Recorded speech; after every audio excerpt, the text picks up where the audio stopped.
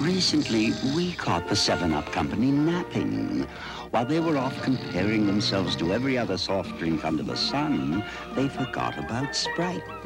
And in a recent consumer taste test, we found more people preferred the taste of Sprite over 7-Up. More people preferred the great lime and lemon taste of lime. More people.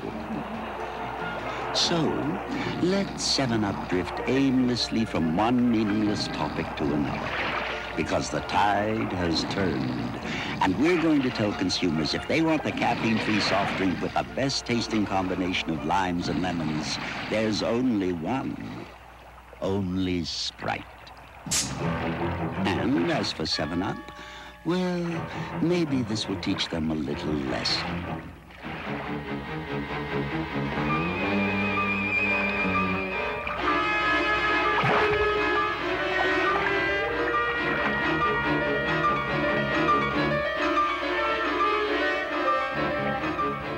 And that lesson is simply this. You don't make waves with the Coca-Cola Company.